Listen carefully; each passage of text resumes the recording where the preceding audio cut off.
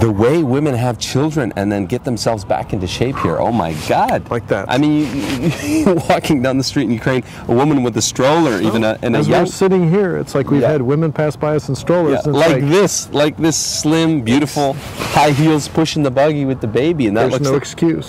I had a baby. No excuse here. Are beautiful Ukrainian women under social and family pressure to get married and have children? Welcome back to Park Talk with Brian and Joe. And what do you say, Bri? Are they under social and family pressure to get married in Ukraine? Ah, yes, to have children by a certain age limit. Oh, yeah, I would definitely. What, what age limit do you think the pressure really starts to crack? 25. Uh-huh.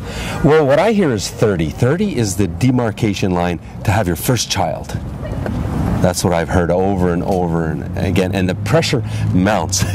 babushka, mama, babushka, everybody's saying, when are you going to be bring me a grandchild? Um, i i does this happen back home? I don't know. Hell no. I was going to say, back in the U.S., what? Wait a minute, what? In the Uh-huh. Western world?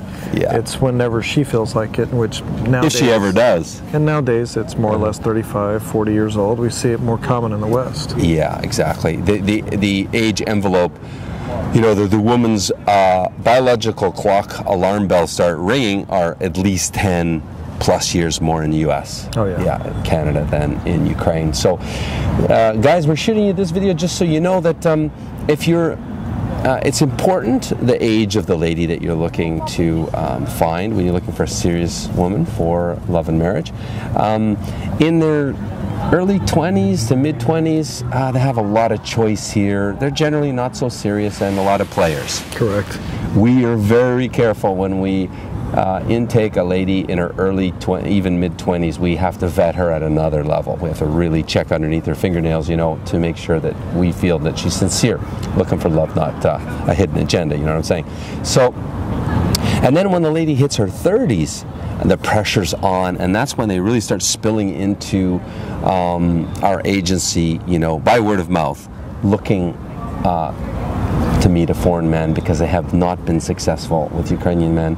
They've had a lot of bad experiences, a bad experiences. and they, they're open to meeting a foreign man uh, to find a good husband uh, because the pressure's on, and they really want. they want a good provider. They want a good provider. And they want a good provider to have a family. Yeah, they're reluctant to have children uh, without a good provider, of course, without the right man. Well, it's- what they've run into here is that they'll have, they'll think they've got a good man, they'll have a child, and guess what? He's off with somebody else. Yeah, that's why there's a lot of single moms. Yeah, is there a lot of single moms in Ukraine? Would you say? Yeah, yeah, and it's and it's basically the fact that you look around. I mean, you look around at the eye candy that's here, and you have a wife that's had a child, and oh, she doesn't want to take care of your desires, manly needs your manly needs anymore because the child is taking number one position, so And- they start uh, looking you, elsewhere. You look around; it's easy Yeah. to find. Too much eye candy here.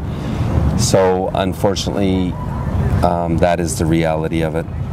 So I think the takeaway point is, guys, that um, um, if you don't want to have kids uh, and you're in your, let's say, 40s, uh, it's going to make it a little bit more difficult for you because uh, most ladies are looking for a man to have children with in their 30s let's say certainly early 30s to mid 30s Yeah. usually they typically they want to have more children um, with you. So if you're um, not wanting to have children going to be more difficult. If you want to have children it's better for you. And certainly if you are willing to mm, accept her child that she already has it's it's a game changer for you the the Life changes all the way around. uh-huh, uh-huh. The uh, Ukraine is your oyster. You know, there's so many single moms in Ukraine that can't find a good man because Ukrainian men, they typically don't want to take on the burden no, they don't. of another man's child, right? They don't want to take on that responsibility. It's That responsibility. not my child. Yeah, not my child. So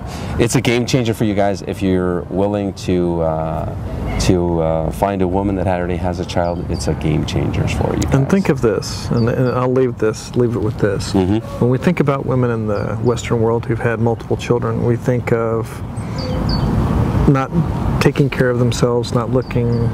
I mean, I can tell you from from they let themselves go big time. My experience, Mm-hmm. two children, and I'm still going. Wow, no way.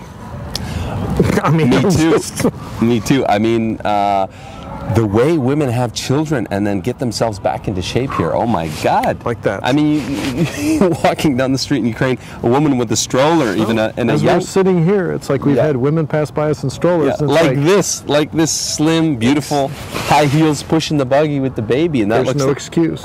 I had a baby. No excuse here.